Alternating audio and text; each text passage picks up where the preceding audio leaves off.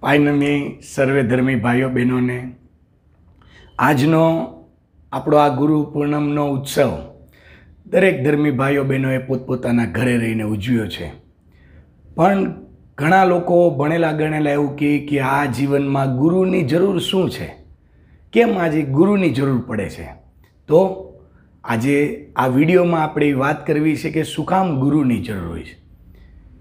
એક ઉદાહરણ પહેલાં તમને હું આપીશ કે એક પપ્પા અને એક બાળક જ્યારે બંને ગાર્ડનમાં જતા હોય અને બાળકની અંદર કેટલો ઉત્સાહ હોય, એના ફેસ ઉપર એક્સાઇટમેન્ટ હોય. અને તમે જોઈ હશે પેલું ઉચ્ચક નીચક જે હિંચકો આવે છે. ને બાળક એક સાઈડ ઉપર બેસે છે અને જેવું એ નીચે જાય અને તરત એના ફેસ ઉપરથી જે એન્જોયમેન્ટ હોય એક્સાઇટમેન્ટ હોય ને, એ જતું રહે છે. શું કામ? કારણ કે એ નીચે જતો રહ્યો છે.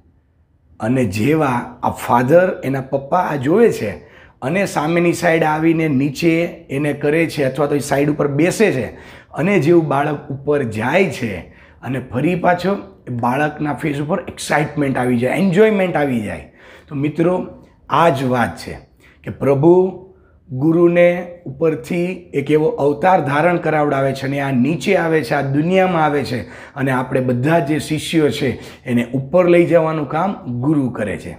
પોતે આ દુનિયામાં નીચે આવી અને શિષ્યોને જીવનના એક એવા લેવલ ઉપર લઈ જાય છે કે જેને મોક્ષ મળે છે. મિત્રો, ઘણી વાત એવી કરવી છે. કારણ કે આજે ગુરુનો મિનિંગ ઘણા બધા વિડીયોઝની અંદર, ઘણા બધા પુસ્તકોમાં આપણે જોયું છે કે ગુ એટલે અંધકાર અને રૂ એટલે પ્રકાશ. હવે ગુ એટલે અંધકાર થાય અને રૂ એટલે પ્રકાશ. તો અંધકારમાં જે પ્રકાશ આપે છે એ વ્યક્તિ ગુરુ કહેવાય.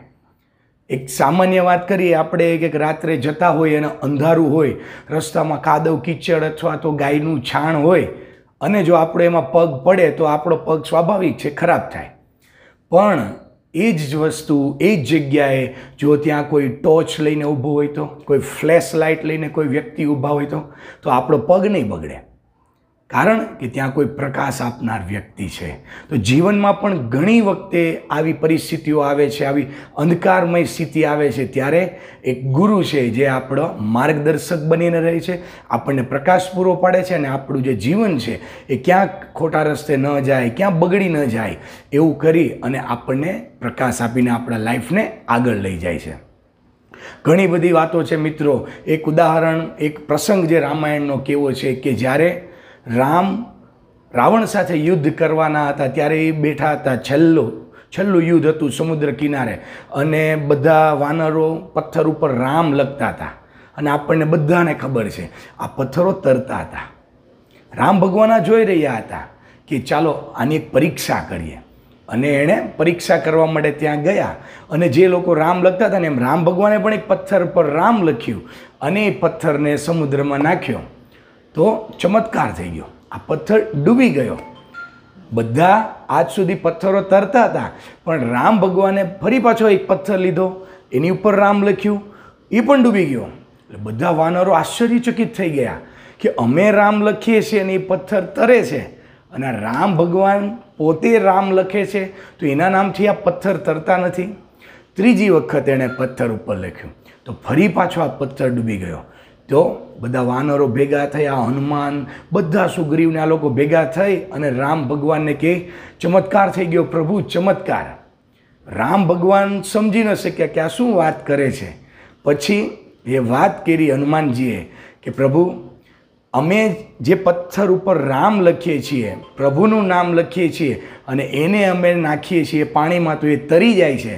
પણ જેના તમે નામ લખો છો અને તમે જેને ફેંકી દો છો, એ તરતો નથી. એનો મિનિંગ કે પ્રભુ જે વસ્તુને ફેંકી દે છે ને, એ તરતું નથી. એટલે આપણે એક શિષ્ય થઈને, આપણો પણ એક શિષ્ય ધર્મ હોવો જોઈએ કે આપણે એવું કંઈક કરીએ કે જેનાથી આપણે તરી જઈએ. હવે આપણે પણ એક પથ્થર છીએ, પણ આપણી ઉપર રામ લખશે કોણ? આ રામ લખવાવાળા એ આપણા ગુરુ છે. જો આપણી ઉપર એ રામ લખી દેશે ને, તો આપણે ભલે પથ્થર હોઈએ, પણ આપણે તરી જશું. એ વાતમાં કોઈ શંકા નથી. તો મિત્રો, આવો ગુરુનો મહિમા છે. એટલે ગુરુની જરૂર છે આ જીવનમાં.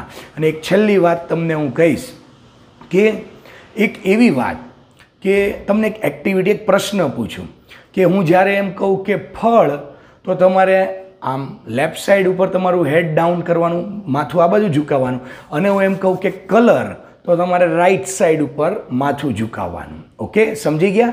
કે ફ્રૂટ તો લેફ્ટ સાઈડ અને કલર તો રાઈટ સાઈડ હવે કહું તમને બનાના એટલે કે કેળા, તો તમે કહેશો ફ્રૂટ છે તો આ બાજુ. અને કહું યલો કલર તો તમે કરશો આમ. હવે હું તમને પૂછું છું ઓરેન્જ નારંગી, કઈ બાજુ તમે મોડ કરશો? આ બાજુ કે આ બાજુ? તમે અત્યારે દુવિધામાં મુકાઈ ગયા. મિત્રો ઓરેન્જ ફળ પણ છે કલર પણ છે. લાઈફમાં ઘણી વખતે મોટાભાગની પ્રસંગો આવા બનતા હોય છે કે આપણે ડિસિઝન નથી લઈ શકતા. કે મારે આ સાઈડ જવું કે આ સાઈડ જવું? અને ન કરવાનું કરી બેસીએ છીએ. આવા સમયે ગુરુની જરૂર હોય છે. એ આપણને એમ કહે છે, આ બાજુ પણ નથી જવું, આ બાજુ પણ નથી જવું, માત્ર સીધા ચાલો. સીધા રસ્તે ચાલશો અને સીધા રસ્તે ચલાવનાર એ આપણા ગુરુ છે. તો મિત્રો, ચોર્યાસી લાખના ફેરામાંથી આપણને આ મનુષ્ય અવતાર મળ્યો છે. અને આપણને આવા ભાઈલાલ કાકા જેવા દુર્લભ ગુરુ મળ્યા હોય, તો એનો જે આ દિવ્ય સંદેશો છે, આ સંદેશો આપણે સમજીએ અને પોતાના જીવનને સાર્થક કરીએ. કારણ કે આજે સવારે જ્યારે ગુરુજીની સાથે વાત થઈ, ત્યારે એના ફેસ ઉપર એક ઉદાસીનતા હતી, એના આંખમાં આંસુ હતા. શું કામ? કારણ કે સમય આજે કઠિન છે. મહામારીના સમયમાં બધાને ના પાડી દીધી છે કે કોઈએ મંદિરે આવવું નહીં. ત્યારે એમને ખૂબ દુઃખ થયું હતું કે મારા જે શિષ્યો છે, મારા ધર્મીઓ છે, એને આજે મારી પાસે આવતા મેં અટકાવ્યા છે. પણ આજે આ ડિજિટલ યુગમાં ડિજિટલ માધ્યમથી, ફેસબુક, યુટ્યુબ લાઈવથી દરેક ધર્મીઓએ ઘરે બેઠા બેઠા ગુરુના સાક્ષાત દર્શન કર્યા છે. તો આવા ગુરુવર્ય શ્રી ભાઈલાલ કાકાને ફરી ફરી વંદન, ફરી ફરી કોટી કોટી વંદન અને દરેક ધર્મી ભાઈઓ બહેનોને ખાસ વિનંતી છે. આ આપણી ઓફિશિયલ યુટ્યુબ ચેનલ છે.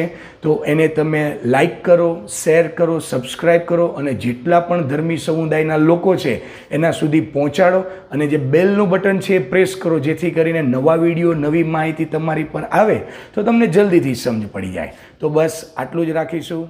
પાય નમ્ય.